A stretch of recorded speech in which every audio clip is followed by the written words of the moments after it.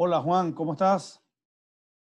Hola Roberto, ¿cómo estás? Qué gusto saludarte desde acá, desde Buenos Aires.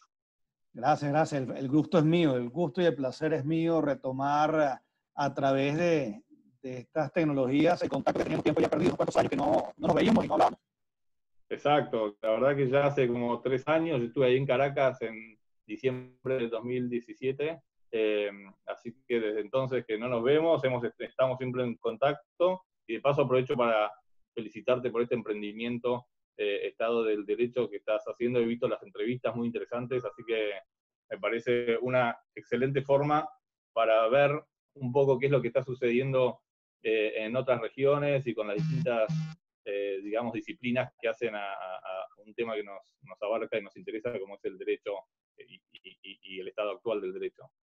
Sí, así es. Mira, Juan, explícanos para aquellos que no te conocen, bueno, y a quienes lo conocen, repites, digamos, de, que nos ilustres cuál ha sido tu experiencia como profesor de Derecho y Derecho Público, Derecho Administrativo, y la realidad, digamos, de la enseñanza del derecho allá en Buenos Aires, en Argentina y en Buenos Aires más específicamente. Perfecto, Roberto. A ver, eh, yo empecé a estudiar eh, abogacía acá en Buenos Aires, en la Universidad de Buenos Aires, que es la universidad nacional pública más importante de la Argentina y ahora eh, tiene también mucha presencia en, el exterior, digamos, en los rankings internacionales, ha adoptado una posición importante. Estudié Derecho en la Universidad de Buenos Aires, ahí me gradué de abogado y ahí también hice la especialización en Derecho Administrativo de Administración Pública, siempre en la Universidad de Buenos Aires. Y también ahí empecé mi carrera docente eh, en, la, digamos, en la carrera de grado y también en el posgrado de la Universidad de Buenos Aires. Haciendo la carrera docente y dando clases en la Universidad de Buenos Aires, luego fui eh, a empezar a ser invitado para dar clases en otras universidades y actualmente estoy también en la universidad, en la Pontificia Universidad Católica Argentina, también dando clases de grado y posgrado, siempre de derecho administrativo y luego en universidades, eh, en distintas universidades, dando clases de posgrado, también de Derecho Administrativo, pero sobre temas puntuales,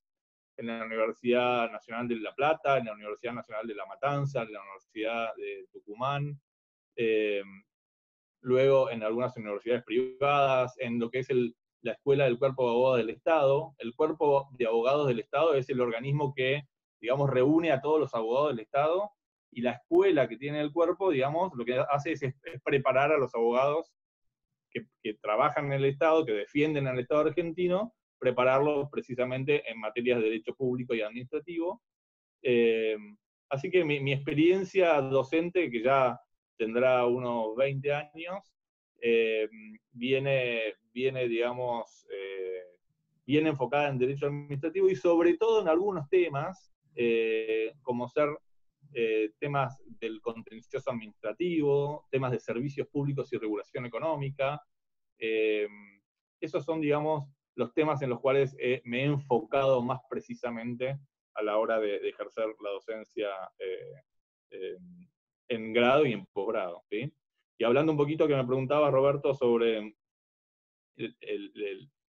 digamos, cómo es la enseñanza del derecho en las universidades argentinas, a ver, por lo que es mi experiencia, tanto como en su momento como alumno y ahora como, como docente, lo que veo es que la enseñanza del derecho, si bien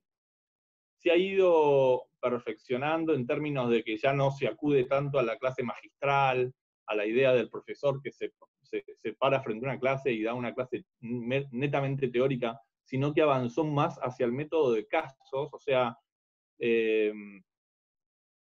hay una tendencia, digamos, a abandonar la clase magistral e ir al método del caso, enseñar eh, a, los alumnos con casos prácticos y situaciones de realidad. Lo cierto es que, a mi modo de ver, todavía estamos alejados, digamos, de lo que es eh, una enseñanza que le permita al alumno salir con las herramientas necesarias como para afrontar el ejercicio de la profesión y como para poder, digamos, eh, tener las herramientas como para empezar a, a trabajar en, lo que nos interesa a nosotros, en el derecho administrativo. Me parece que todavía estamos en un estadio bastante inicial eh, en ese sentido y, falta mucho como para que que el alumno, digamos, tenga la práctica del derecho. ¿sí? No hay dudas de que lo que está, el alumno sale con muy buenos conocimientos teóricos, eh, pero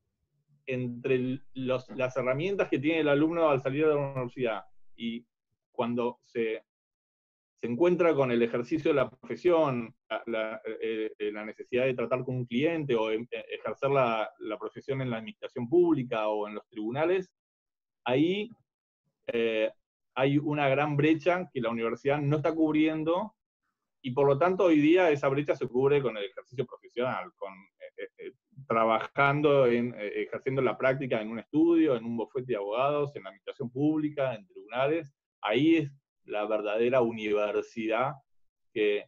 que, brinda realmente, a mi modo de ver, las herramientas que luego sí permiten, digamos, ejercer la profesión y, estar sólido en el ejercicio de profesión, pero para mí, Roberto, eh, sería bueno y esperable que la universidad tuviera de algún modo un,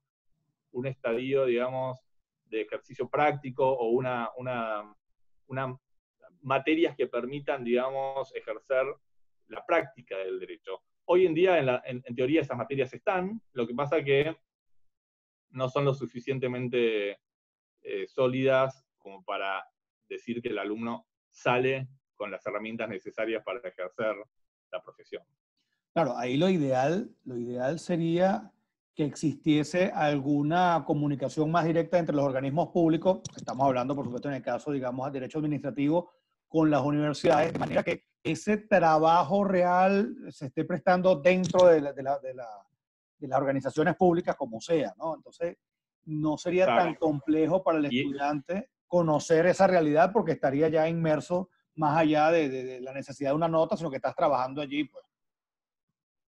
Exactamente, y eso que decís, Roberto, sucede y, empezó a suceder a nivel de, los posgrados. Por ejemplo, en la Universidad de Buenos Aires, el posgrado ya hace varios años que eh, tiene una suerte de pasantía entre eh, eh, los alumnos y distintos organismos públicos, de manera que los alumnos de posgrado, digamos, sí eh, necesitan acreditar, digamos, eh, haber realizado una experiencia práctica en algún organismo público, incluso en algún tribunal, etcétera, pero a nivel de grado no está lo suficientemente desarrollado a mi modo de ver. O sea, falta todavía eh, darle una vuelta de tuerca. Mira, cuando hablamos de derecho público y más específicamente de derecho administrativo, por supuesto, la realidad de cada estado es muy propia. Es más, tan es así que pues, en un estado con una línea mucho más federal que uno más centralista, cambia notablemente, ¿no? De un estado a otro pues, y de una provincia a otra. Pero así como hablamos de derecho civil o mercantil, en derecho administrativo, no obstante esas particularidades, diferencias de un estado a otro, hay principios generales que nos rigen. Por ejemplo, que existan contratos administrativos, que exista la función pública, digamos el estatuto del funcionario público, la responsabilidad, la transparencia, el acceso a la información pública. Es decir, que son, estaba hablando con otro profesor, son principios, son principios generales de derecho administrativo que hacen más, digamos, fluida una comunicación entre un profesional en Argentina, con uno en Ecuador, en México, etc. Exactamente. ¿Cómo ves tú, sí, cómo ves tú, digamos, la, el contexto del administrativo general, de los contratos y el contencioso administrativo en Argentina respecto de la globalidad del derecho administrativo más, digamos, regional. Pues, bueno, es, es, una buena, interesante pregunta, Roberto. A ver, em, a, nivel regional, nosotros tenemos varias, varias herramientas y tratados que nos dan, eh, digamos, que, dan una base sólida, normativa, y que, digamos, eh, receptan muchos de estos principios. A nivel eh, del, contencioso administrativo, que es lo que me estás preguntando, eh, entiendo que en la Argentina realmente estamos bien. A ver, lo que es el, control judicial de la administración en nuestro país está regido actualmente por una, una ley a nivel federal en nuestro país por una ley eh, o un decreto ley del año 72, que es el decreto ley 19.549, eh, que es una norma dictada en su momento por un gobierno de facto, luego fue ratificada por el Congreso, y hoy, eh, digamos, esa es la única norma que trata, que trata algunos aspectos del derecho público y del contencioso administrativo federal. En la Argentina, a diferencia de lo que sucede en muchos países, no hay un código a nivel federal, un código contencioso administrativo federal, no tenemos un ordenamiento que recepte, digamos, eh, y que trate el contencioso administrativo, sino que fueron los tribunales contenciosos administrativos federales en, la Argentina los que fueron diseñando eh, eh, los distintos, las distintas particularidades del contencioso administrativo.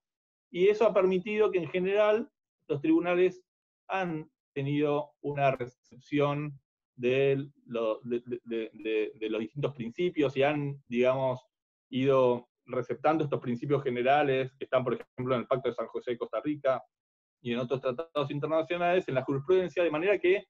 hoy hay un, avance importante en términos, por ejemplo, de acceso a la justicia, eh, los tribunales cada vez con mayor, eh, con mayor, eh, tienden más a aceptar, abrir las puertas de la justicia al justiciable, por ejemplo,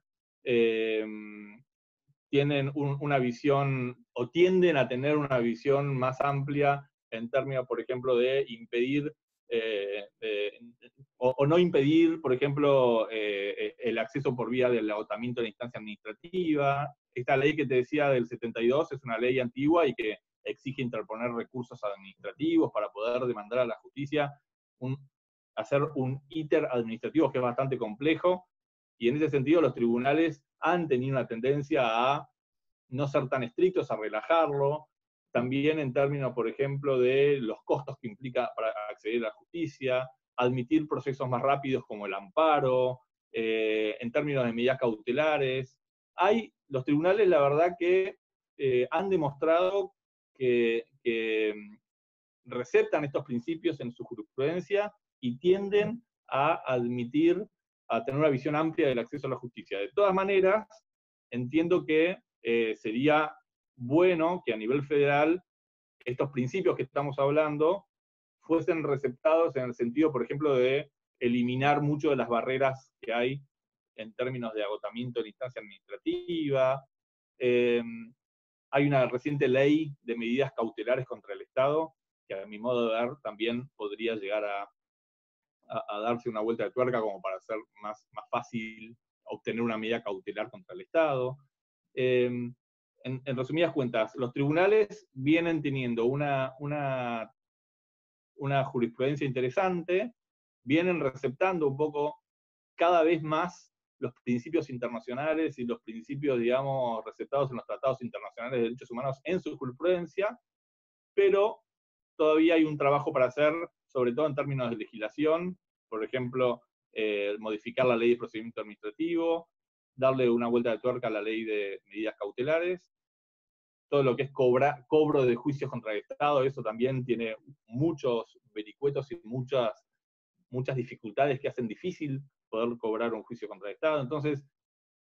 la, jurisprudencia, la verdad, viene cada vez mejor. Me parece que el foco habría que ponerlo un poco en la, en la legislación.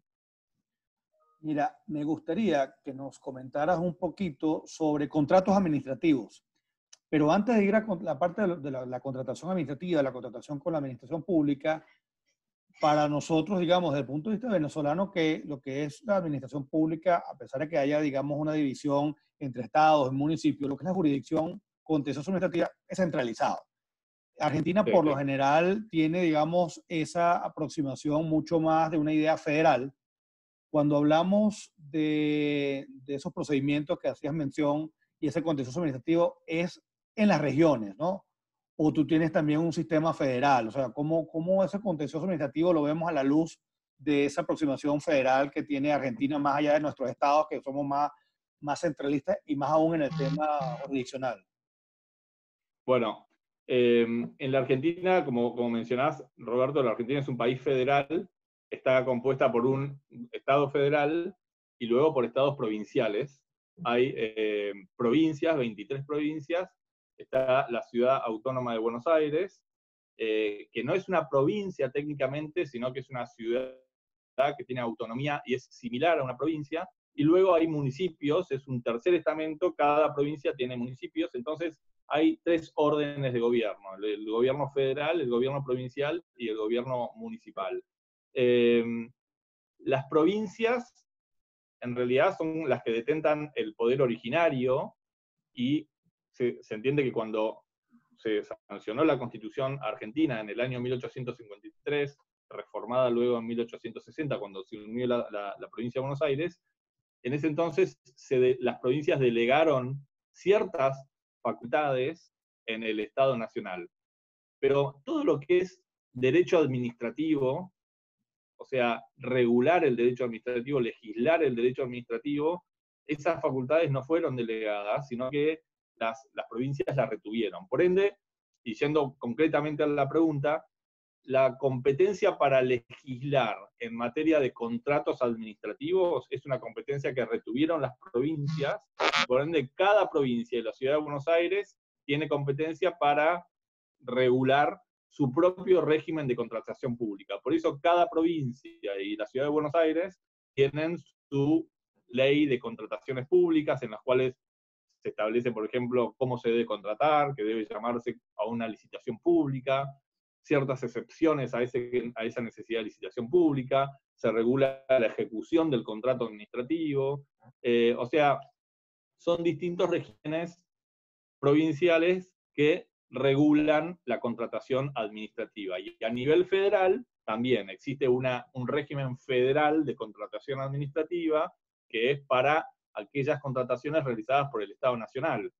contrataciones vinculadas con los intereses del Estado Nacional. Y eh, eh, en, el, en, nuestro país esa, legislación, digamos, federal eh, es, bastante reciente, es una norma del año 2001, modificada en el año, reglamentada en el año 2016, pero básicamente esa legislación federal un poco lleva la voz cantante que a veces siguen las provincias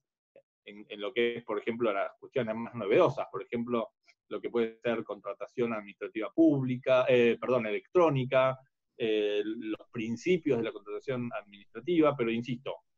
eh, más allá de esta influencia que pueda tener la legislación nacional sobre las legislaciones provinciales, lo cierto es que cada provincia de la Ciudad de Buenos Aires tiene su propio régimen de contrataciones públicas, porque, insisto, es parte del derecho administrativo que en la Argentina es netamente local es una facultad que retuvo cada provincia de la Ciudad de Buenos Aires, y por ende, em, más allá del régimen federal, cada provincia de la Ciudad de Buenos Aires tienen su régimen, eh, sus regímenes em, eh, provinciales de contratación. esto, por ejemplo, se está viendo bastante ahora, con motivo de esto del coronavirus. El Estado Nacional eh, emitió normas facilitando la contratación pública, diciendo, bueno, con motivo de la emergencia pública, entonces no hace falta llamar a una licitación, vamos a exceptuar, a, permitir que con motivo de esta emergencia el Estado nacional, el federal, pueda contratar rápidamente, sin necesidad de ir a licitaciones públicas. Y algunas provincias adaptaron sus legislaciones, sacaron legislaciones provinciales en, el mismo orden que la ciudad de Buenos eh, que, la, Nación, permitiendo también que las provincias contraten durante la emergencia del coronavirus rápidamente. Entonces, la influencia que, son, son regímenes federales, pero el Estado Nacional, eh, o mejor dicho, son regímenes distintos, autónomos, pero el Estado Nacional, eh, al emitir su normativa de contratación pública, sin duda ejerce una influencia y las provincias suelen intentar, en algunos casos, no en todos, suelen llevar su legislación en un sentido similar. Eso pasa en muchos órdenes, no solamente con contrataciones, también con responsabilidad del Estado, por ejemplo. A nivel federal existe una ley de responsabilidad del Estado y las provincias ahora están sacando sus propias leyes de responsabilidad del Estado, muchas veces adhiriendo a la ley nacional. Entonces, en los distintos temas que comprenden el derecho administrativo, tenemos regímenes locales provinciales y un régimen federal que corren por cuerdas separadas, sin perjuicio, insisto, de la influencia que juega el Estado y la legislación federal sobre las legislaciones eh, provinciales. Mira, ya para, para ir concluyendo, me gustaría que nos comentaras, porque tú además tienes experiencia, porque trabajas en un, en un escritorio, trabajas en una, en una firma, en materia también de administrativo y de, y de contratación, contratación pública, ¿no? ¿Cómo ves tú el futuro de lo que es el derecho público, específicamente en el área de contratos, con las nuevas tecnologías? Porque date cuenta que a pesar de que se puedan relajar ciertos requisitos, estas tecnologías te dan una ventaja muy grande que es transparencia, que es control, digamos, ciudadano directo sobre lo que son los regímenes, quiénes son, la ejecución de los contratos. ¿Y cómo lo ves tú con vista a lo que está pasando con esta pandemia? de que podamos adoptar nuevas formas de contratación pública a través de, las, de las tecnologías. Muy interesante la pregunta esa, Roberto. Eh, efectivamente, como decís, yo, eh, más allá de la actividad académica que mencioné, ejerzo la profesión eh, en un estudio jurídico grande de Buenos Aires, que es el de Carvarela. Es un estudio, como lo llaman, corporativo y full service, en el sentido de que trata distintas disciplinas. Yo estoy junto con el profesor Aguilar Valdés, eh, eh, estoy a cargo del, Departamento de Derecho Administrativo y ahí, digamos, lo que se puede ver es que lo, que se viene en el ejercicio de la profesión eh, tiene mucho que ver con esto que mencionabas, con las cuestiones de la tecnología y, sobre todo en materia de contrataciones. En Argentina ya hace varios años el, el Estado nacional y luego también, como hablábamos antes, las, provincias fueron imitándolo, eh, estableció lo que es la contratación pública electrónica, o sea, la posibilidad de eh, llamar a licitaciones públicas, presentar ofertas, eh, adquirir los pliegos, presentar impugnaciones, etcétera, todo por vía electrónica. Hay un portal muy conocido en la Argentina a nivel federal que es el portal Comprar compr.ar y luego un portal también Contratar, eh, que son portales electrónicos de la Administración Federal, que lo que hace ahí la Administración es, digamos, eh, llamar a licitaciones y cursar todos los procedimientos por esa vía. La verdad que ha sido una, experiencia, está siendo una experiencia bastante exitosa, permite, digamos, despapelizar a la administración pública. Eh, fue un desafío en términos de, eh, poder, digamos, acercar eh, la, contratación a la ciudadanía porque, y materia de transparencia, porque permite que cualquier ciudadano se meta en el portal y vea en qué está determinada contratación. Eso la verdad que fue una, novedad. Eh, así que me parece que un poco es lo que se viene. Hace unos años también lo que se hizo fue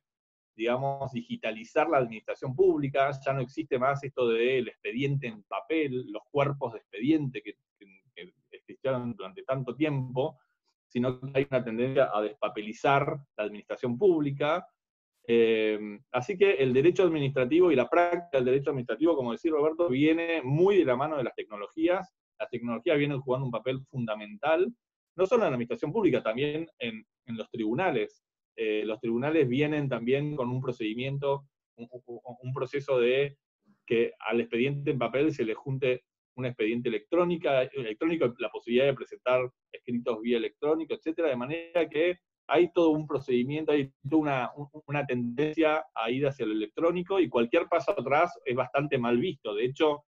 eh, y esto es algo bastante reciente, justo ayer eh, salió publicado un decreto del gobierno del Estado Nacional diciendo que eh,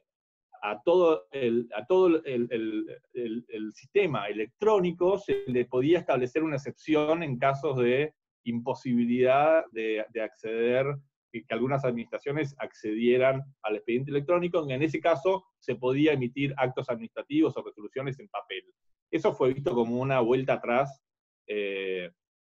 a esta tendencia que estamos hablando de, hacer más electrónico el procedimiento administrativo y fue bastante criticado, y sobre todo en términos de transparencia, porque, a ver, eh, permitir que en un caso puntual o cuando, por ejemplo, se corta la luz durante una hora, una administración pueda emitir un acto administrativo en papel, sin perjuicio de luego subirlo al sistema, la verdad que un poco implica un retroceso a esta tendencia que venimos de hacer ya tanto, en los últimos años de que sea todo electrónico. Entonces, es, eh, claramente eh, juega la, informática y la electrónica juega un, un, papel fundamental en el derecho administrativo, en la práctica del derecho administrativo en términos de contrataciones, pero más general también en todo lo que es el procedimiento administrativo e incluso el proceso judicial. Igual hay mucho que hacer todavía, pero me parece que es algo que, que, que, se viene. De todas maneras, siempre eh, la administración y la justicia a la hora de informatizar sus procedimientos van a ir muy por detrás de lo que es la tecnología, de manera que se ve lo bueno, la, buena voluntad de la administración a la hora de, de, digamos, informatizar los procedimientos, pero de nuevo, hay mucho por hacer en ese sentido. Bueno, así eso es una realidad y tenemos que vivir con ella y el Estado y el derecho como tal, más allá del Estado, tiene que, tiene que adecuarse. así es. Eh, me gustaría que nos dijeras, a pesar de que no conozco muchos profesores de Argentina, conozco algunos, pero por supuesto no estando allá,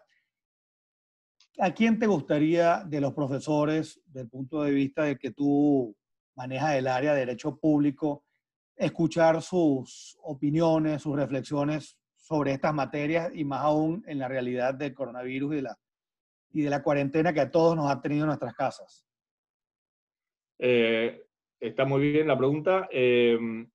a ver, eh, si tuviese que mencionar profesores argentinos, hay,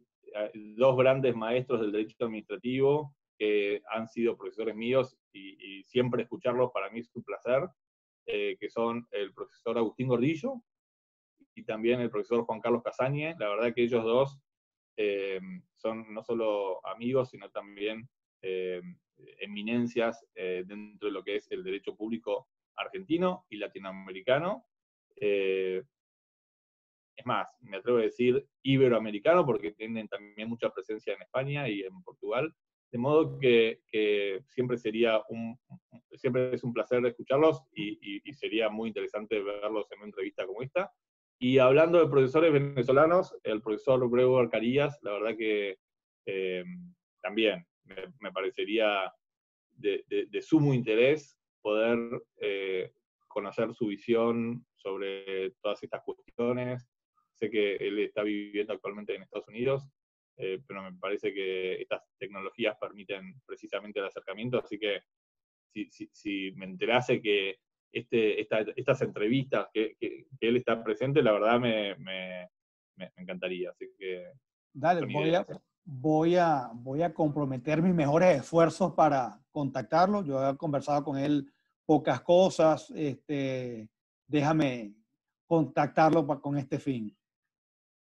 Perfecto, Roberto. Mira, Juan, muchísimas gracias. Este, disculpa que te hayamos robado este tiempo, que a lo mejor estabas haciendo algunas cosas, pero realmente disfruté muchísimo de esta conversación. Espero que todos los que la vean hayan disfrutado y la disfruten como, como yo hice. No, por favor, Roberto, gracias a vos, gracias por la invitación. La verdad que es un placer siempre hablar contigo y sobre todo estos temas. Y, bueno, la verdad que, espero que, que haya sido de interés y, nos seguiremos viendo por estas u otras cuestiones, por esta vía, o espero algún día personalmente que nos crucemos en algún, en algún congreso o seminario. Seguramente pronto nos veremos, sea en Argentina, sea en Venezuela, en algún lugar coincidiremos y bueno, pasaremos esta página y vendremos a unos tiempos mejores. Así es, Roberto. Dale, chao. Y brindaremos por ello. Así es. Nos vemos. Chao, Roberto.